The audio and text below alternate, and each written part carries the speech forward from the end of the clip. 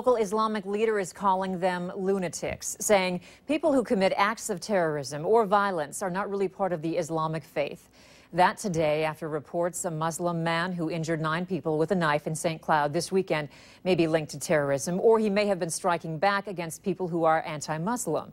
Valley News Team's Neil Carlson has reaction from the leader of the Islamic community in Grand Forks.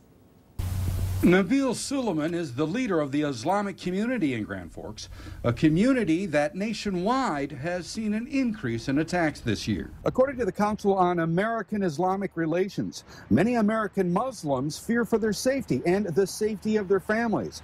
They don't think it's safe for them to go out in public. Do you think that's the case here? It is the case, but maybe we are not feeling it as much as some other folks in other areas. Do you know of families that think, well, it's not really safe for me to go to the mall or downtown shopping, or it's just kind of an uneasiness?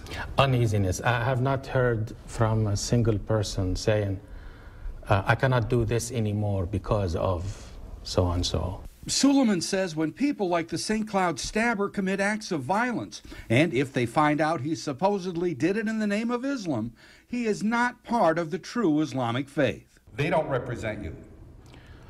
They not, not just not to represent me, they are living on a different planet, it seems like. Uh, we are way far apart from each other.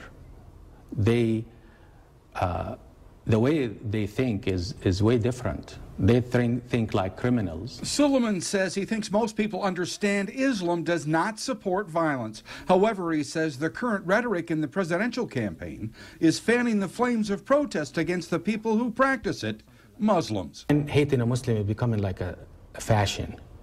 It's not, it's not a bad thing anymore. It's, it's okay to hate Muslims and to abuse them and to try to rip the scarf out of a, a Muslim woman. Because some politicians are actually encouraging them. In Grand Forks, Neil Carlson, Valley News Live. Suleiman says if anyone has questions about the true Islamic faith, he's more than happy to meet with them.